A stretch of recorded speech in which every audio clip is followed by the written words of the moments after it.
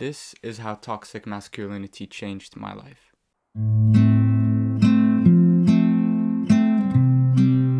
Hey guys, welcome back to the channel. If you're new here, my name is Mehdi. The channel's name is Mehdi Tate, kind of like meditate, and I post about all things wellness, personal growth, and mindset. And today's topic is about masculinity, and I don't know if it's if saying fragile is the word for it, but it is quite fragile because there's a lot of opinions over this. But uh, yeah, here's mine.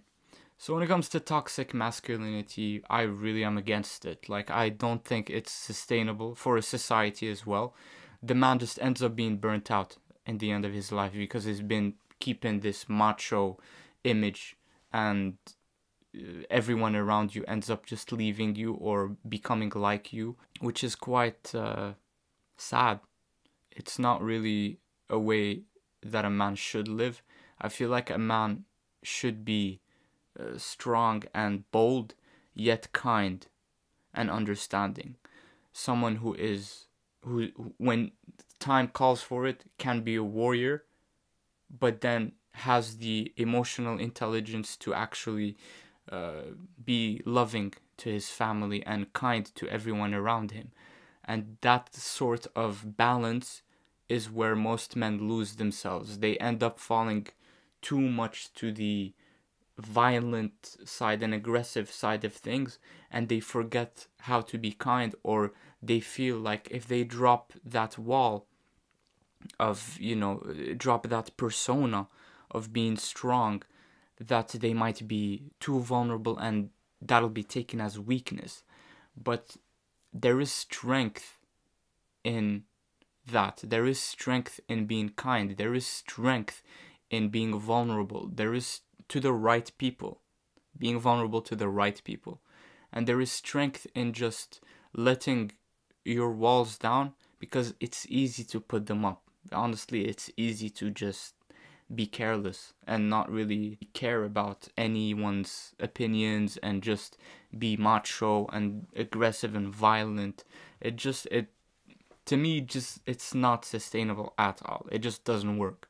So a man is someone who is focused on his goals, someone who is after his vision, yet can also handle um, being uh, gentle and being kind. A toxic male, I feel, is someone who's just not really uh, in control of his emotions, someone who is pursuing the wrong things in life, like uh, materialistic things, uh, pursuing a lot of women without any meaning, having meaningless sex.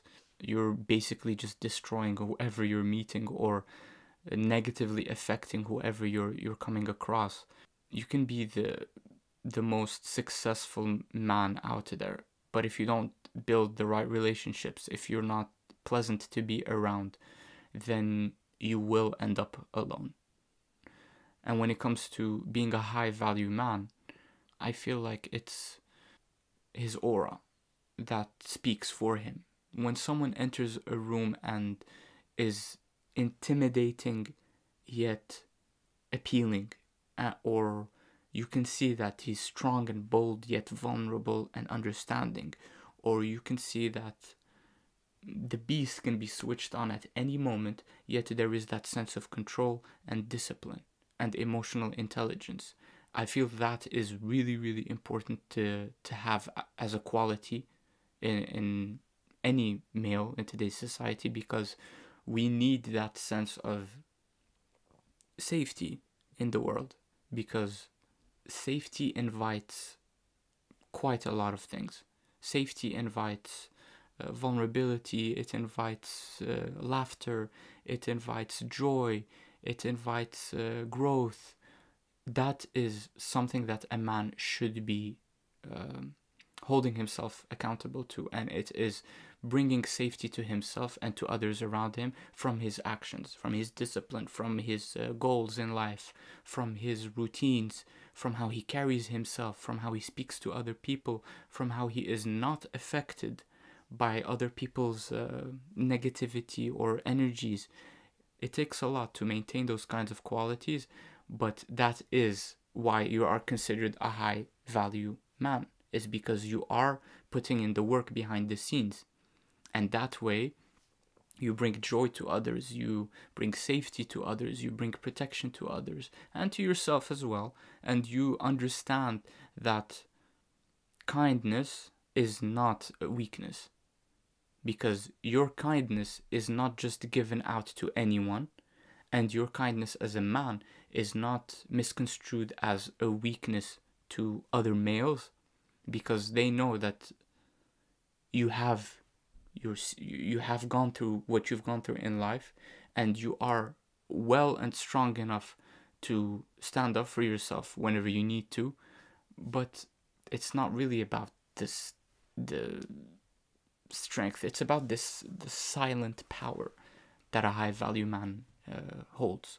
So at the end of the day a high value man is someone that has the discipline set has the emotional intelligence in check, has the sense of um, silent power in check as well, which means that you are in control of your life, you know what kind of choices you need to make, and you are the person that other people come to for advice, for help, and for just a good time as well at the end of the day because it's it's you know it's not being serious all the time of course. So it's uh, it's all these qualities and i know I, I missed a few i probably should have written down uh, in depth but i think i'm going to do a future video about it and i hope it helps you uh, sort of think of what it's like to be a man in today's society as well and to try to sway yourself from you know the toxic side of things and from the um, trying to prove yourself in a violent manner in order to get respect because that just won't it won't last and it just doesn't work. People when people are scared of you they don't respect you. They're just scared. And fear invites negative emotions.